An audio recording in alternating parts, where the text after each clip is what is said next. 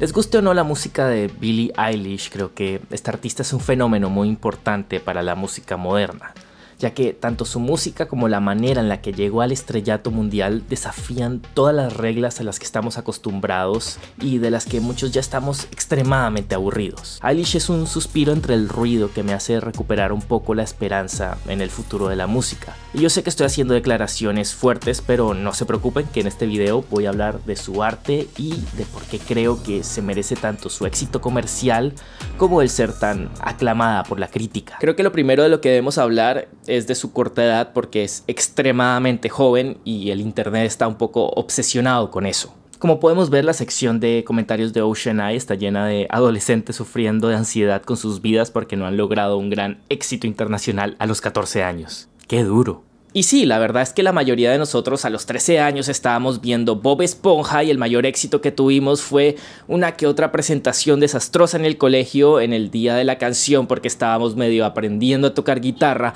para poder ligar de alguna forma porque éramos demasiado penosos como para hablarle al sexo opuesto sin sentir ganas de vomitar. Y no estoy hablando de mí. Y bueno, lo más normal es que cuando algún cantante tan joven termina siendo extremadamente famoso es porque están rodeados de un equipo gigante de adultos empresarios, productores y compositores trabajando para una gran empresa que se encarga de la mayor parte del lado creativo y promocional. Es decir, que cuando escuchamos a un cantante pop extremadamente joven cantar sobre su dura vida, generalmente estamos escuchando la voz creativa de un equipo de cuarentones tratando de monetizar la angustia de ser adolescente. Pero este no es el caso de Billie Eilish, porque su primer gran éxito fue una canción que grabó en su casa y subió a SoundCloud esperando que tal vez la escuchara su círculo de 20 amigos o algo así y terminó volviéndose viral.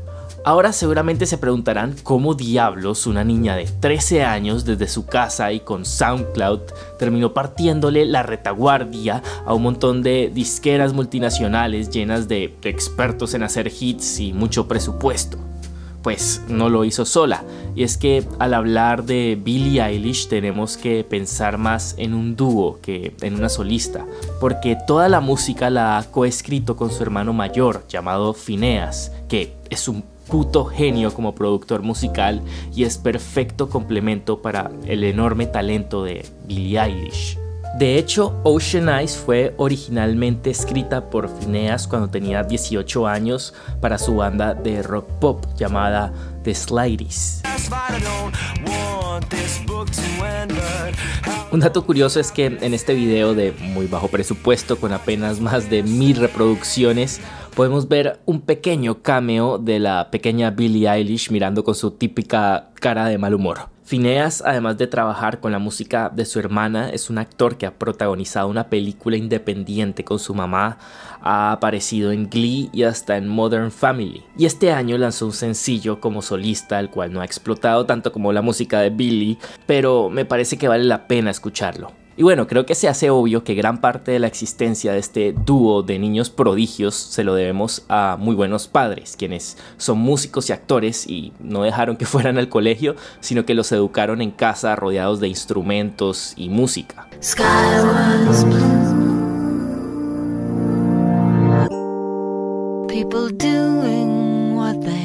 Es decir, que no estaban perdiendo el tiempo en un sistema educativo de mala calidad para llegar cansados a la casa solo con ganas de ver a Jake Paul o lo que sea que ven los niños de hoy en día. Pero ahora hablemos de cómo realmente el ser tan jóvenes influye en la manera en la que este par hace música. Porque la verdad, la rebeldía adolescente de no seguir las reglas ni hacerle caso a los adultos, creo que es una de las razones por las que su música suena tan bien. Como dije en mi anterior video, la música por muchos años lleva cada vez haciéndose más y más ruidosa como estrategia comercial para que cada sencillo se destaque entre todo el ruido como un montón de canciones gritando para que les presten atención. Entonces la producción musical empezó a enfocarse en el volumen, en que todo suene grande y maximalista.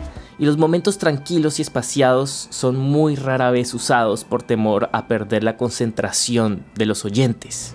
Y lo que pasó con Billie Eilish es como cuando tenemos un ruido constante de fondo al que nos acostumbramos, como una nevera vieja con un ruido constante que solo notamos cuando se apaga. O como cuando vamos al campo y no podemos evitar notar el silencio, Y lo que pasa es que el silencio es parte de la música y Billy no tiene miedo a usarlo. Y esto es muy importante.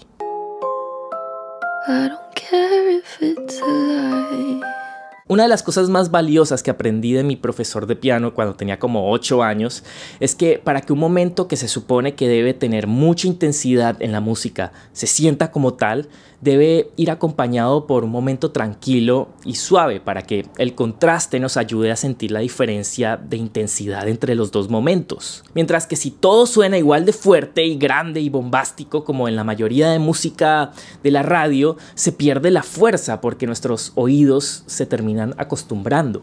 Entonces, una de las razones del éxito de la música de Billie Eilish es que entre mucho ruido la mejor manera de llamar la atención es con el silencio. En vez de estar gritando para llamar la atención con bombos y platillos, su música y hasta su forma de cantar te susurra al oído, creando una sensación de intimidad que no se encuentra en otra música grabada por grandes estudios. Y es que hasta si la comparamos con Lana del Rey, que es música bastante lenta y espaciada y pues para algunos hasta aburrida, podemos escuchar que aún así esta música está producida para que suene gigante y bombástica.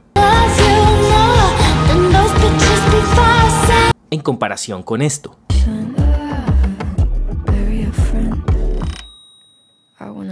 Incluso en las canciones más movidas de Billie Eilish es posible sentir esa intimidad. Y la razón de esto es que toda la música la graban desde la intimidad de la casa donde crecieron con los papás, en el cuarto de Phineas.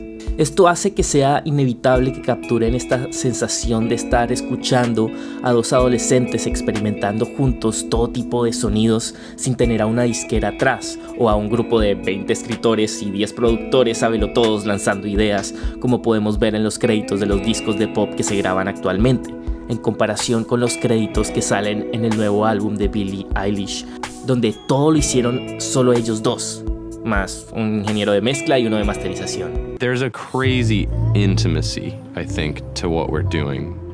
There's such a kind of a like private feeling to what we're doing because we're not at a recording studio where different people are there every day and people are down the hall. Like it's our house. En el pasado todo el mundo estaba acostumbrado a ir a una tienda de discos y llegar directamente a la sección con el estilo de música que a uno le gustaba. Estas tiendas tenían que tener un orden para poder vender música y tenían que etiquetarlas por géneros. Igualmente en la radio las emisoras se centraban en algún tipo de música.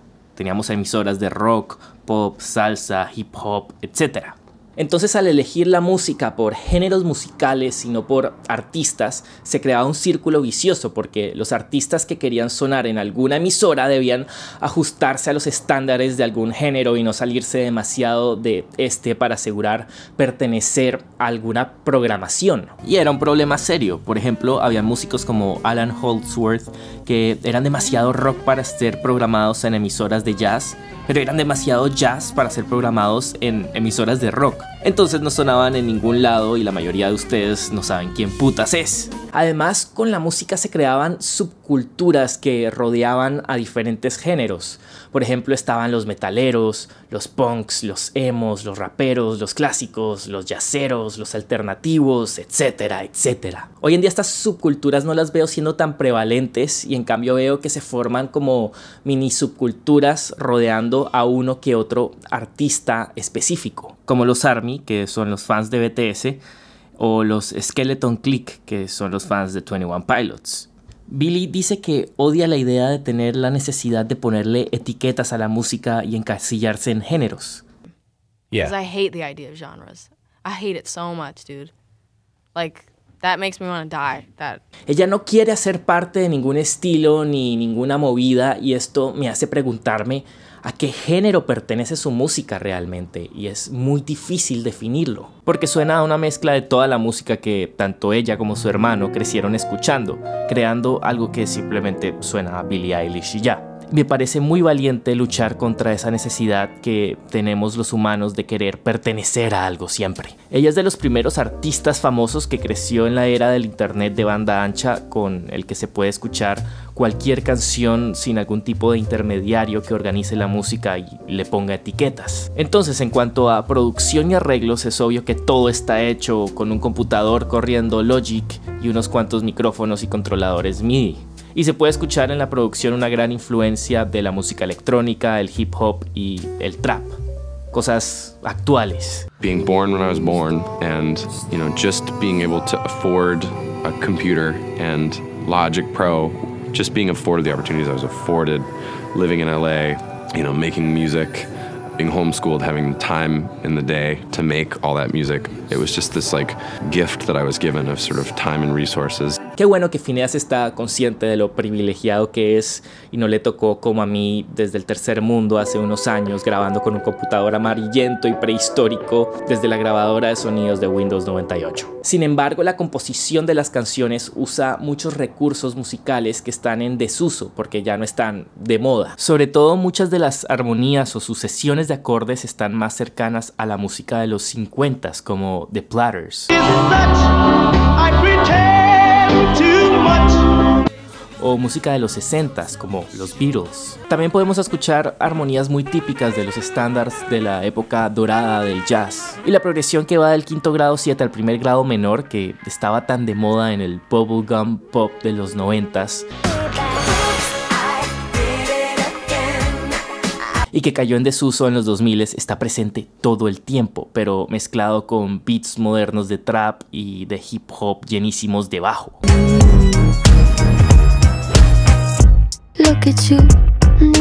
Esto es porque es música hecha por dos adolescentes solos en su casa sin ningún equipo de trabajo diciéndoles qué deben hacer.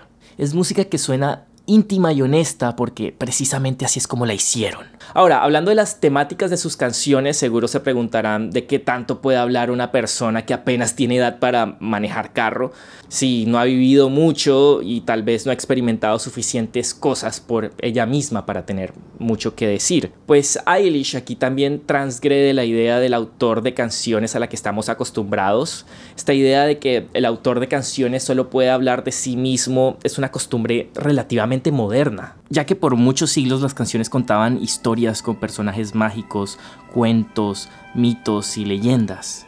Ella sabe muy bien esto y no se limita a hablar de ella misma y escribe canciones desde los zapatos de un asesino o desde los zapatos de alguien a quien ella lastimó en el pasado o simplemente cualquier cosa que se le venga a la cabeza. Ella se dio cuenta de que no es necesario narrar tu propia experiencia para crear arte y no es necesario haber tenido una vida oscura y dramática para escribir canciones que son oscuras y dramáticas. There's not much depth in what he's singing. He's a victim of his upper middle class upbringing.